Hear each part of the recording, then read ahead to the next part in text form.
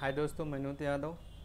आज के सेगमेंट में आपको बताने वाला हूँ कि फ़ोल्डर का कैसे डुप्लीकेट बनाते हैं।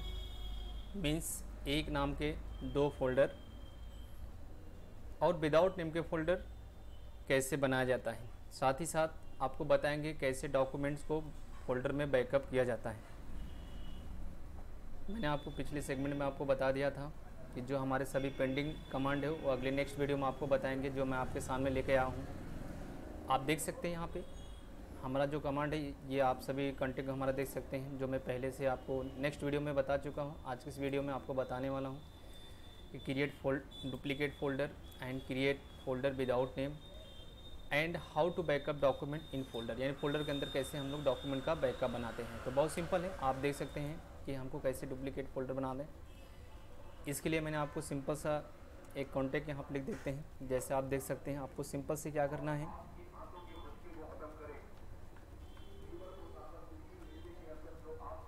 Alt plus two five five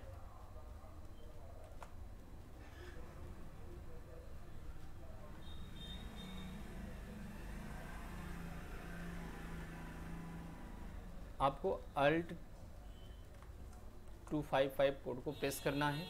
आई मीन्स अल्ट बटन को होल्ड कर रखिए। आपको दो सौ पचपन को प्रेस करिए और उसको फिर ड्रॉप करिए। इस तरीके से आपके सेम नाम के फ़ोल्डर बन जाएँगे, जैसे कि डुप्लीकेट फ़ोल्डर बना सकते हैं। यही स्टेप आपका सेम इधर भी है। आप देख सकते हैं हमने यहाँ से कॉपी करके इसके सामने पेस्ट कर दिया। तो जो आप विदाउट नेम के भी फ़ोल्डर बना सकते हैं। आइए देखते हैं कैसे करते हैं। इसके लिए हमको डेस्कटॉप पे जाना है। आप यहाँ पे राइट बटन क्लिक करिए न्यू फोल्डर बनाइए। तो आप यहाँ पे देखिए, जैसे कि मैंने यहाँ पे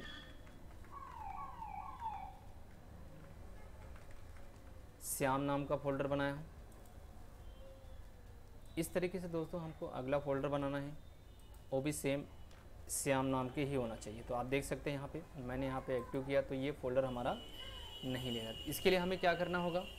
मैंने आपको अभी जस्ट आपको कोड बताया तो इसके लिए आपको पहले आपको श्याम को टाइप करिए। इसके बाद आप कीबोर्ड की बटन से, जैसे आपको बता रहा हूँ, यहाँ पे आप देख सकते हैं, मैं यहाँ पे टाइप करके भी दिखा रहा हूँ।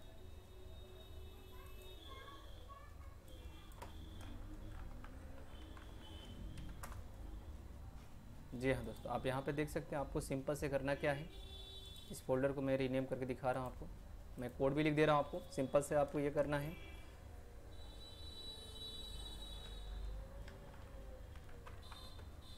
Hold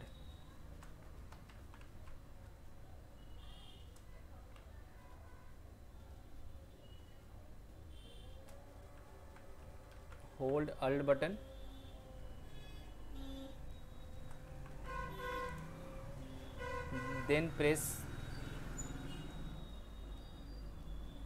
two five five आप देख सकते हैं, आप अल्ट बटन को होल्ड करके रखें। इसके बाद आपको टू फाइव फाइव को प्रेस करना है। तो आप यहाँ पे हमको करके दिखाते हैं। आप रीनेम देख लीजिए।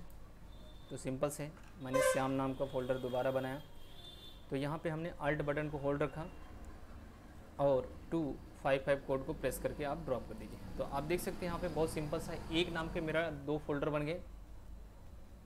आप स्क्रीन पे देख लीजिए। इस तरीके से इस कोड के माध्यम से आप सेम नाम के फोल्डर बना सकते हैं। अगला मेरा जो कमांड है वो है विदाउट नेम के फोल्डर उसमें भी इसी कोड का इस्तेमाल करना है। इसके बाद हम आपको बताएँगे कैसे डॉक्यूमेंट का बैकअप फोल्डर के अंदर बनाया जाता है। जी हाँ आइए देखते हैं डेस्कटॉप के ऊपर। आपको न्यू में जाना है, आप यहाँ फोल्डर बनाइए। तो देख सकते हैं आप, यहाँ पे मैंने एक फ़ोल्डर को बनाया। आपको इस फोल्डर को डिलीट कर देना है। जैसे आप बाहर क्लिक करेंगे, वापस वह आ जाएगा। तो इसके लिए हमने आपको बताया, आप रीनेम करिए और इसको डिलीट कर दीजिए। जस्ट अल्ट बटन होल्ड करके आप टू फाइव फाइव को प्रेस करके ड्रॉप कर दीजिए। तो आप देख सकते हैं विदाउट नेम के फोल्डर हमारे रेडी हो गए। तो बहुत आसान है। तो दोस्तों, ये था हमारा प्रैक्टिकल बेसिक अब अगले वीडियो में आपको मिलेंगे नए चैप्टर के साथ, जिसमें हम वर्क बेस पे चलते हैं। किस तरीके से ऑफिशियल वर्क किया जाता है, अभी तक ये सभी हमारे कमांड थे बेसिक इसके साथ साथ अभी हमारा एक कमांड है, वो भी आपको बताते हैं। कि कैसे हम लोग डॉक्यूमेंट का बैकअप फोल्डर के अंदर बनाते हैं। आपको बहुत सिंपल है, जैसे आप देख सकते हैं यहाँ पे मैंने कोई भी डॉक्यूमेंट जैसे यहाँ पे फ़ंक्शन की के बारे में लिखा गया, हम चाहते हैं इसका बैकअप इसके अंदर रख सकते हैं। जैसे आप यहाँ पे देख लीजिए, आप सिंपल से करना है, इसका आप कॉपी कर लीजिए, या तो आप कट करिए। आप इस कट करके आप इस फोल्डर के अंदर जाइए, आप इसे ओपन करें। और इसमें आपको राय बटन क्लिक करके आपको पेस्ट कर देना है। तो दोस्तों, इस तरीके से देखिए, श्याम नाम का जो मेरा फोल्डर था, उसके अंदर हमारा ये फ़ंक्शन की जो मेरा कंटेंट है, रिकॉर्ड है, वो हमारा बैकअप बन गया। आप देखना चाहते हैं तो आप इसमें देख सकते हैं। बहुत कॉमन है और ये हमारा श्याम अगला जिसके अंदर नहीं है। आप इसमें भी बनाना हो तो सिंपल है। आप इसको ओपन करिए, कॉपी आपने ऑलरेडी किया है, आपको सिंपल सा पेस्ट कर देना है। जैसे मैं कट करके रखा हूँ पहला मेरा जो बना विदाउट नेम का फोल्डर आपने देख लिया। तो मेरा बनाया हुआ बैकअप आपके सामने है, यहाँ से खोल के रीड कर सकते हैं आप। तो दोस्तों, इस तरीके से हो गया आपको डॉक्यूमेंट को कैसे हम फोल्डर के अंदर बैकअप बनाते थे। तो ये था दोस्तों आज का हमारा सेगमेंट। अब अगले वीडियो के साथ आपको नए चैप्टर के साथ मिलेंगे, जिसके अंदर हम लोग इसकी सीखेंगे, कैसे ऑफिशियल में वर्क करते हैं। या दोस्तों, हमारे चैनल में या नए हैं तो आप प्लीज़ लाइक एवं सब्सक्राइब करना ना भूलें, जिससे हमारा वीडियो आप तक मिलता रहे। तब तक के लिए बाय बाय।